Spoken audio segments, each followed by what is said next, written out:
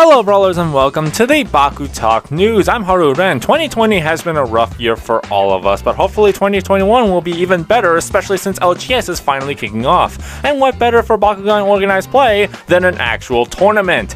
Yes, Multiverse Games in San Antonio, Texas will be having what they call a Bakugan Grand Tournament on March 13th. Greg from the Nerdy Friends posted the details in Discord server, so if you have any further questions, please refer to him. But the entry fee is $20 and the payout is depending on the amount of people that show up. So please show up and play. There is also a ban list of every Baku Elite Blind Box Hero and Evos, just as it should be, and if you can't make it to this one, they are working on organizing another one for the summer. No, I'm not sponsored to promote this, but I love Bakugan and I want Bakugan to have successful organized play and brawlers to meet and have fun. Though, please remain safe, follow safety protocols, wear a mask and social distance, and keep clean. And for our next story, Bakugan t-shirts are up for sale at Hot Topic. I got this scoop from Zionic Blader on Twitter when he tweeted about it, and it's not a reboot shirt, it's a shirt from the old series, which is actually the most generically designed shirt I've ever seen. They literally took an old poster of the Battle Brawler series, minimized it, and put it on a black shirt. I mean, if anyone wants this shirt, don't let me stop you from buying it, but this is not a shirt I really want in my honest opinion. Now, before we get into the next story, I just wanted to let you all know that a majority of you watching right now are not subscribed to this channel. If you genuinely enjoy the videos we make, we try our best to post consistently, so please consider subscribing. I appreciate any support you give. Now on to our next story, the new Geogan Dekas have been listed on Target.com as reported on by the Bakugan Wiki. The Geogans listed on Target are Aqua Stingzar, Darkus Sluglar, and Ventus Talon. So any of you Deka collectors out there, these new Geogans look pretty cool, so they might be for you, especially Talon. That one I actually really like.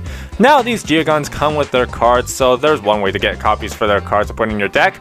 Unfortunately, you still need to buy the regular size toy, but more to the point, Stingzar is a 3 cost 808 plus 1000 on Helix, so not bad.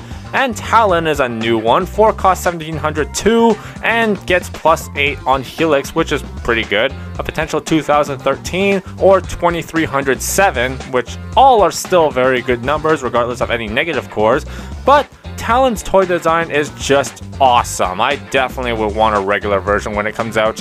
And for our final story for today, we potentially have the Battle Brawlers Funko Pops revealed. The Bakugan Funko Pops have been a topic of discussion ever since it was teased months back, and we would potentially be seeing them at Funko Fair. While Funko Pop News on Twitter posted these images of the renderings of the Battle Brawlers Funkos, and they look pretty cool, especially the Bakugan creatures themselves. Though remember, please keep in mind these are potentially only concept renderings and not the final finished product, as under all of them it says figure concept subject to licensor approval, and there could be some things that will look different later on but that just depends if Spin Master really likes them. So if we want to see the actual finished product, we will have to wait until Funko Fair, which takes place January 19th to 29th. But let me know what you guys think of these Bakugan Funkos in the comments below and which one you will be picking up.